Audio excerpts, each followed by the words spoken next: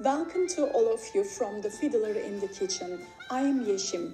In this channel, I will be sharing my cooking, high-end home and garden decor, tablescaping, my violin playing, and days in the life vlogs. I love my cozy home that smells beautiful food and pastries all the time. Sharing this with you is my favorite hobby.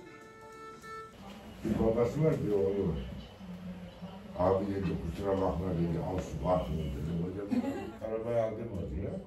Hoca da sen git cumartesi kemer takma. Bir abi bizim diyor.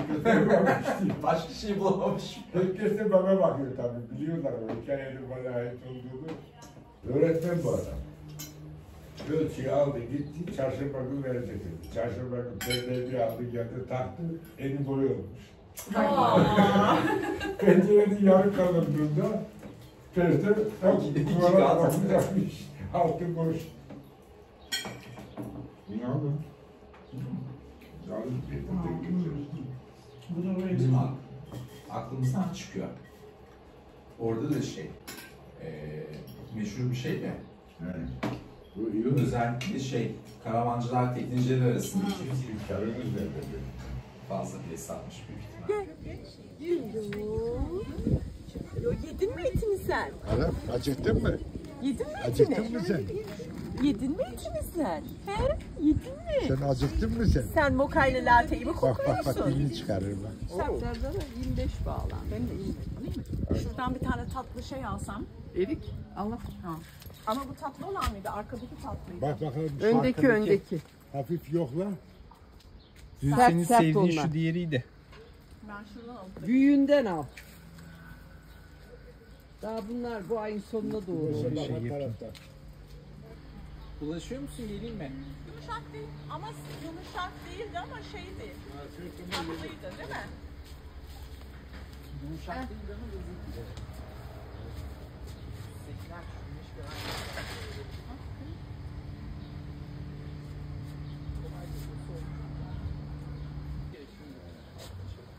Gelir gibi yaprak kalmadı ya.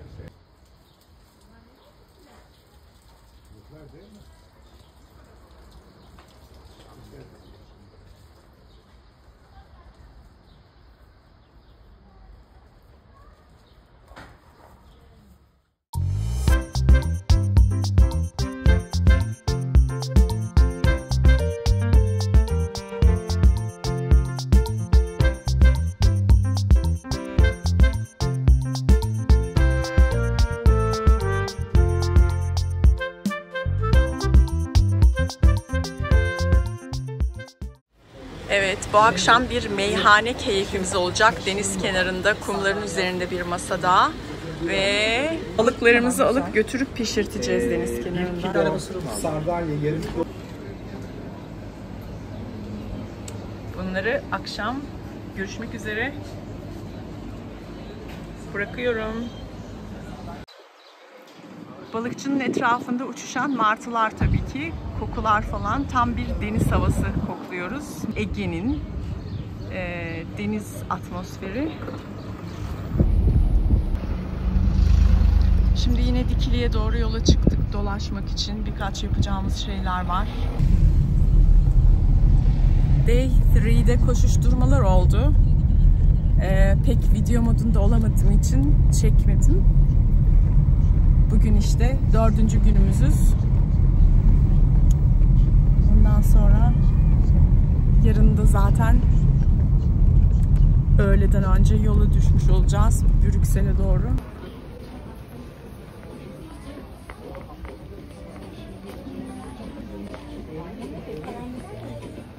Dikili sokaklarında geziyoruz.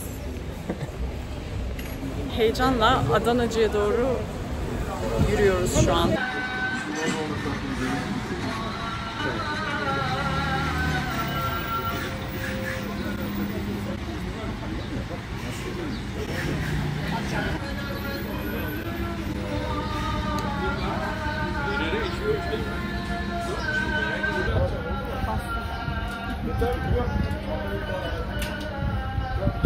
Alacaksın değil mi? Aynı zamanda yan. Sağ olun.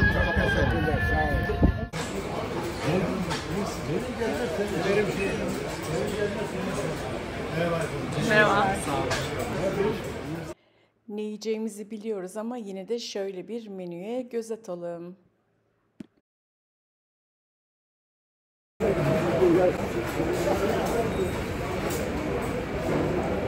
Evet, Adana kebap yemek üzere burada bulunuyoruz ve duygu ve düşüncelerinizi bu konuda almam gerekiyor.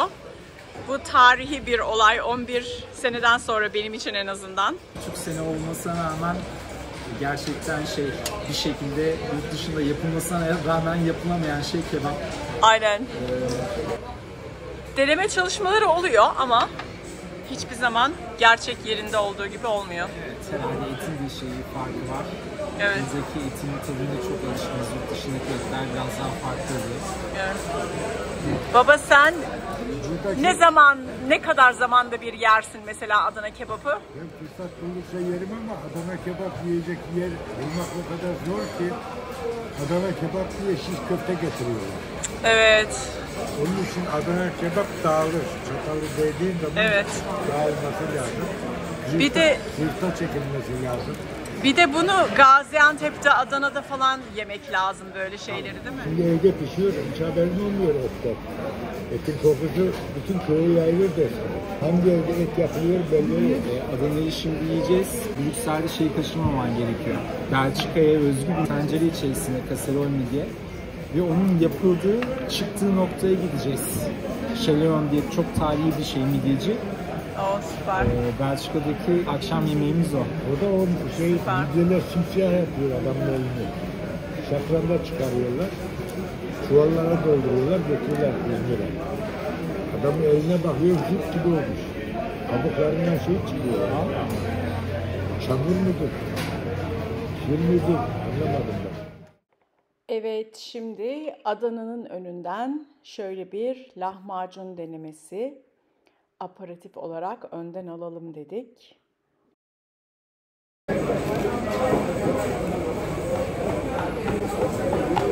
Şey ilginç ama benim hatırladığım altı falan soslu, yağlı olur biraz. Bundan çıkıyor normal ekmek gibi. Ankara'da hatırlıyorum. Böyle tereyağı falan şeyi ya da etinin yağı. eti çok yağ veriyor. Şeyde güzel yapıyorlar. Kadıköy'de Aslanlar Camii'nin yanında. Bunu çekmeliyim. Lavaş ekmek geldi. Bakar mısınız? Sıcacık. Tereyağı ve peynirle beraber. Çok güzel kokuyor. Bazlama gibi. Gözleme gibi. Çok güzel oldu.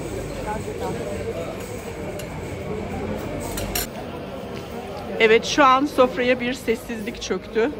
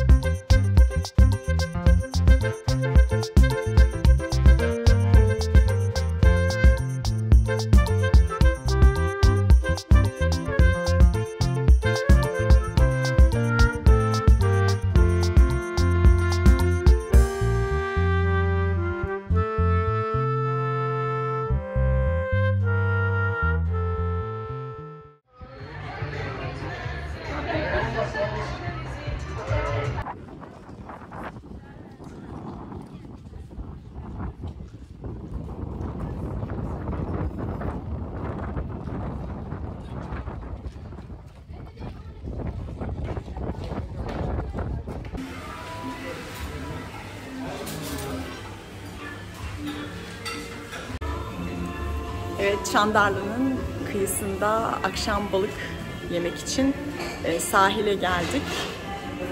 Babamlarla işte güzel bir meyhane keyfi yapacağız bugün. Meze seçiyormuşuz.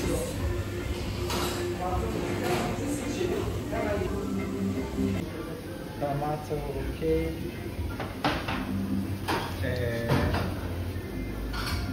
Laker de rica edeyim.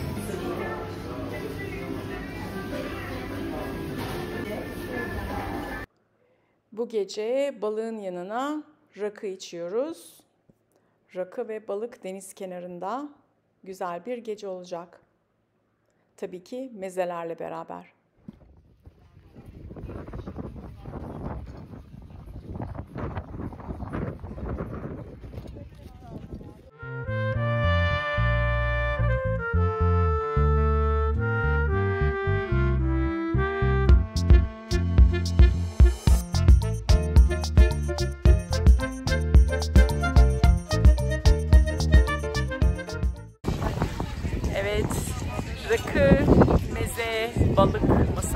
Hazır. Şimdi bekliyoruz. Güzel bir meyhane keyfi yapmayı düşünüyoruz bu akşam. Sizi de birlikte getirdim buralara. Mezelerden ne istersin? Hocam şöyle her şeyden ortaya getir. Sağ olasın. Mezeler Dilara'ya gelsin. Özellikle bu kızım Dilara'ya gönderiyorum. Senin yerine yiyoruz. Tabii Koray'ın yerine de ama özellikle Dilara'nın isteğiydi. Şöyle bir masayı donatın bütün mezelerle demek.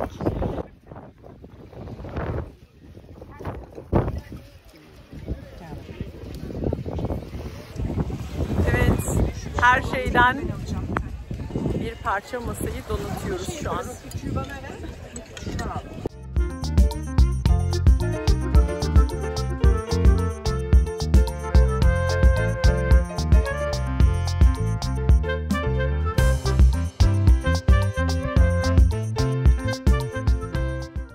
Mezelerimiz sırasıyla yoğurtlu patlıcan, ahtapot salatası, atom,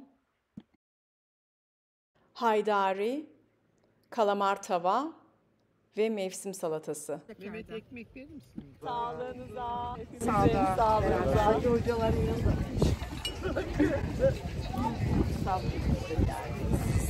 Balık yemeye mi geldin sen buraya? Kediler iki oldu.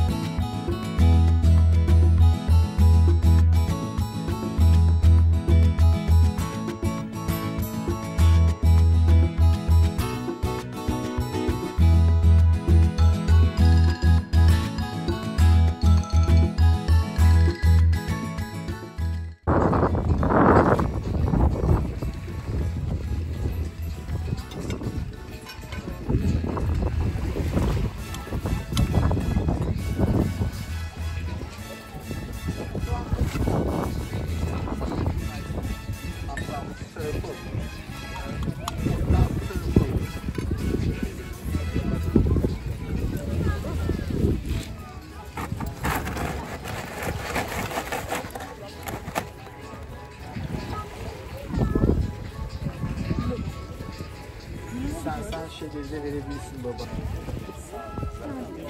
Artık bu lezzetliydi geçen sefer. Lezzeti çok güzel.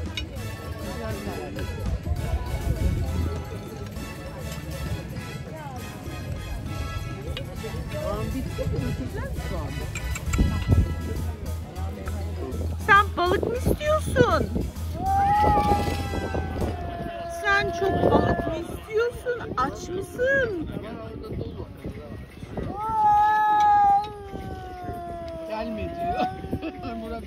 benim